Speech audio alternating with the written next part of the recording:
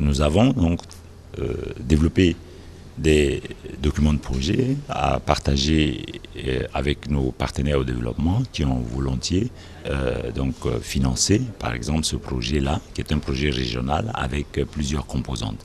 Donc c'est un projet qui est financé par le gouvernement du Japon. Voilà. Donc il était important que je, je et il est financé par le gouvernement du Japon à hauteur de 4 500 000 dollars. Donc ce projet inclut au niveau régional des institutions sous-régionales africaines qui sont spécialisées, donc qui font partie de la CDAO et entre autres euh, nous avons l'institut euh, de recherche qu'on appelle le Noguchi, mais sinon nous travaillons ici dans le cadre de ce projet avec euh, l'OAOS, donc l'organisation ouest africaine de la santé, qui est une partie intégrante de la CDAO. Voilà. Donc, euh, ce sont des agents spécialisés en la matière, donc euh, d'assistance donc aux populations, et ils l'ont bien démontré pendant les sessions ici en faisant des présentations. Donc, ces partenaires régionaux, nous allons travailler à renforcer leurs capacités en matière opérationnelle pour pouvoir mieux assister comme ils l'ont fait donc euh, de leurs propres moyens. Mais ici, nous avons donc nous apportons une valeur ajoutée en ce sens que tout ce que nous allons faire avec ces institutions sous-régionales, notamment c'est que j'ai mentionné, c'est de formuler des politiques d'appui aux pays affectés, mais aussi aux populations. Parce qu'il faut retenir, c'est que ce projet concerne essentiellement les zones frontalières et transfrontalière de l'Union du fleuve Manou. C'est-à-dire, donc, euh, la Côte d'Ivoire fait partie de ce projet parce que la Côte d'Ivoire a des frontières communes avec la Guinée et le Libéria. Donc, euh, si vous regardez les cartes que nous avons là, des zones d'intervention, c'est très clair là où le projet doit avoir un impact, les populations qu'elle doit assister, les communautés, etc. Voilà. Donc, ça, c'est le niveau donc, euh, régional. Ensuite, nous avons le niveau pays. Donc, les quatre pays dont j'ai parlé, la Côte d'Ivoire, la Guinée, le Libéria et la Sierra Leone ont reçu aussi un appui financier à travers nos bureaux pays pour pouvoir dérouler des activités dans les zones transfrontalières ou frontalières concernées. Et pour ces bureaux pays, il s'agit donc dans les, on va dire ce qu'on appelle dans les, on utilise le jargon output dans nos, euh, euh, dans notre travail, c'est d'assister au niveau euh, de la gouvernance locale, les populations, au niveau en matière de cohésion sociale, parce que vous savez que euh, la crise Ebola n'a pas été seulement une crise médicale, mais elle a été aussi une crise, euh, elle a été l'objet de tensions hein, au niveau, entre les communautés, entre les gouvernements et les populations locales, euh, notamment aux frontières, et aussi entre les autorités locales. On sait qu'en Guinée, par exemple, il y a eu euh, des autorités civiles qui se sont fait attaquer physiquement, il y en a qui sont... Donc on s'est dit, c'est un aspect très important, la partie de la cohésion sociale, du renforcement du dialogue inter autorités, gouvernements et communautés locales, pour pouvoir justement éviter cette incompréhension qui a existé dans euh, le passé. Donc je crois qu'aujourd'hui, avec le plaidoyer qu'il y a eu autour de la question, les populations transfrontalières et frontalières ont bien compris que ce n'était pas du fait des autorités, mais plutôt effectivement, il y a eu peut-être de, une mauvaise communication autour de la chose qui a été rapidement rattrapée. Mais toutefois, on a estimé qu'il était important d'adresser cette question. Et puis, il y a donc euh, euh, l'appui même aux autorités locales. Hein, euh, pour pouvoir justement mieux assister les populations avec l'implication des populations elles-mêmes dans euh, le relèvement hein, économique dont ils ont besoin. Parce qu'ils ont perdu donc euh, beaucoup de choses, non seulement en matière de vie humaine, mais surtout le travail, les activités qu'ils avaient ont été délaissées parce que ayant peur de se faire contaminer, euh, pour celles euh, des populations qui faisaient des activités agricoles, les champs ont été délaissés parce qu'il n'y avait plus de bras valides, etc. Donc c'est un, une situation de crise qui était euh, difficile.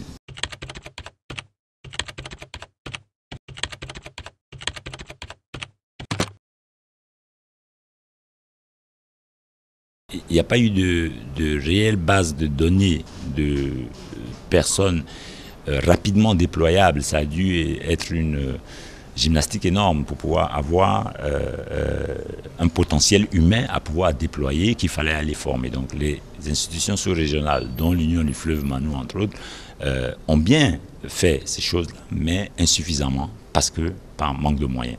Donc maintenant, on pense qu'il euh, y a eu une prise de conscience en la matière. Les gouvernements eux-mêmes investissent aussi des fonds, mais nous faisons ce que nous pouvons avec les fonds des partenaires euh, au développement pour pouvoir essayer de, euh, on va dire, d'apporter des résultats additionnels hein, à ce qui a été déjà fait et puis renforcer, ressortir, redonner la joie de vivre aux populations à ces populations transformées en matière de sécurité, mais aussi surtout en matière de euh, sécurité, on va dire, médicale, d'avoir euh, les hommes là pour pouvoir les assister. Et ça, c'est le rôle donc, euh, des institutions sous-régionales de leur donner, de mettre à disposition ces personnels-là en étroite collaboration avec euh, d'autres agences du système national. Il est vrai que ce projet-là est piloté par le PNUD, mais avec l'implication d'autres agences du système des Nations Unies, comme par exemple ONU Femmes, avec euh, UNCDF, euh, pour travailler sur des, des, sujets bien concrets, hein, selon le plan de travail qui a été développé. Donc voilà à peu près un peu, je dirais, à quoi on s'entend en termes de résultats sur le terrain, d'avoir eu les, les, capacités des institutions régionales renforcées, qu'ils aient développé des politiques et des mécanismes hein, euh, pour l'alerte précoce en matière de, on euh, épidémiologique, et que ces structures-là puissent mettre à la disposition de la population, non seulement des pays qui ont été affectés, mais surtout des pays de l'Afrique de l'Ouest. Ces instruments-là sur lesquels eux-mêmes ils travaillent déjà. Donc on ne vient rien créer de nouveau d'ailleurs, puisque ce sont ces activités qui ont été identifiées par les, institutions sous-régionales elles-mêmes. On vient renforcer ce qui existe déjà. Ça, c'est ça l'objectif. Donc euh, oui, en gros. Et puis il y a un niveau régional. Donc je vous ai dit, je suis le gestionnaire du projet, en entendant d'avoir une équipe plus renforcée pour mieux assister non seulement nos bureaux pays à réaliser les objectifs du projet, mais aussi les institutions euh, sous-régionales à pouvoir faire le travail conséquemment. Donc c'est pour ça que nous sommes réunis ici, pour pouvoir justement harmoniser nos vues et puis surtout, surtout la coordination. Il n'y a rien de plus terrible qu'une coordination qui ne fonctionne pas parce que les informations ne sont pas partagées suffisamment à temps, on ne sait pas ce que l'autre fait, on ne sait pas où ils en sont, alors que nous avons quand même un temps limité pour pouvoir euh, effectivement avoir des résultats concrets sur le terrain, puisque aussi le partenaire au développement attend de notre part qu'on lui montre ce que nous avons réalisé sur le terrain.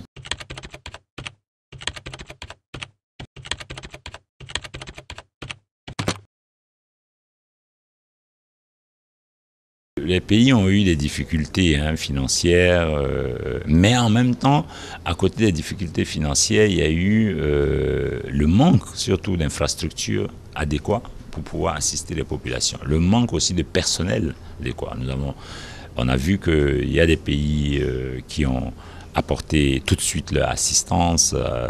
je ne les nommerai pas ici de façon détaillée, mais il y a eu la communauté internationale, on va dire ça comme ça, s'est mobilisée autour de ces pays-là pour leur apporter l'assistance nécessaire. Mais euh, c'est dû aussi à la faiblesse euh, de nos systèmes sanitaires hein, que nous n'avons pas pu euh, répondre efficacement en tant que pays concernés, affectés à une euh, épidémie qui n'avait jamais en réalité existé dans cette zone, dont on sait que l'origine de l'épidémie venant, dit-on, du, du, Congo, mais euh, l'Afrique de l'Ouest, particulièrement ces pays-là, n'ont jamais été confrontés à ce genre, c'est la toute première fois, c'est un phénomène nouveau qu'ils ont pris le temps de comprendre, et puis bon, apparemment aujourd'hui, on a une meilleure compréhension de, cette maladie, mais même mieux, l'assistance a été mieux organisé et les populations savent vers qui se diriger. La sensibilisation a été faite euh, assez bien au niveau des pays, mais aussi au niveau mondial. Donc on voit dans les pays que j'ai visités, parce que j'ai visité l'ensemble des quatre pays euh, pendant mes missions pour voir un peu comment on allait répondre à ça, ou discuter aussi avec les bureaux. On voit qu'il y a une amélioration sur le terrain. Et on s'est dit, oui, le côté médical ou de santé des populations va être adressé, entre autres aussi par le gouvernement, avec l'appui des partenaires euh, au développement du système des Nations Unies, mais mieux, l'urgence maintenant, c'est de donner un espoir aux populations pour pouvoir revivre, pour ne pas se sentir abandonnés, voilà, parce qu'ils ont bien vu qu'il y a eu effectivement des failles dans nos systèmes sanitaires notamment, mais aussi euh, dans les faiblesses de nos administrations locales euh, qui étaient démunies euh, ou désarmées face à ce genre de situation.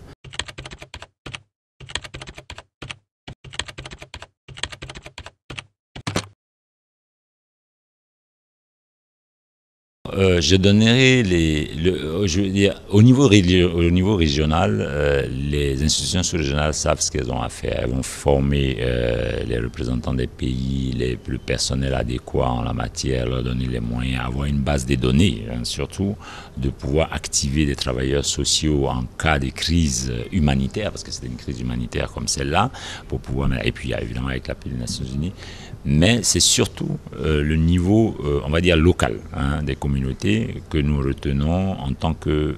qui, pour nous constitue euh, l'aspect le plus important.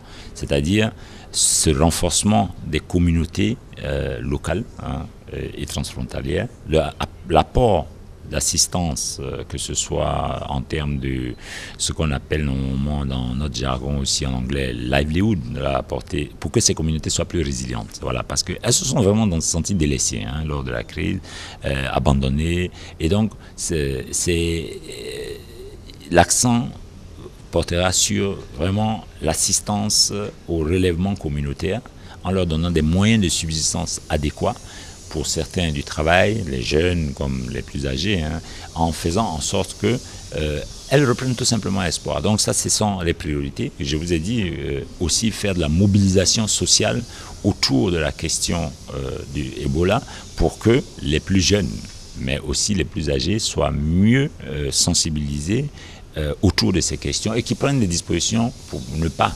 se faire contaminer par la maladie, mais aussi lorsqu'il y a des symptômes qu'elle se rende aux endroits euh, où euh, il faut pour pouvoir être assisté. Mieux, il y, a a des réhabilitations de centres de santé euh, qui sont prévus. Par exemple, en Guinée, euh, ils comptent réhabiliter certains centres de santé au niveau des frontières pour permettre justement que ces centres de santé soient fonctionnels. Donc, euh, et c'est le cas aussi, je pense, si je ne me trompe, en Côte d'Ivoire, selon ce qui est planifié par les collègues du bureau. En Sierra Leone, ils ont tout un panel de partenaires avec lesquels ils vont travailler justement à répondre aux urgences sur le terrain.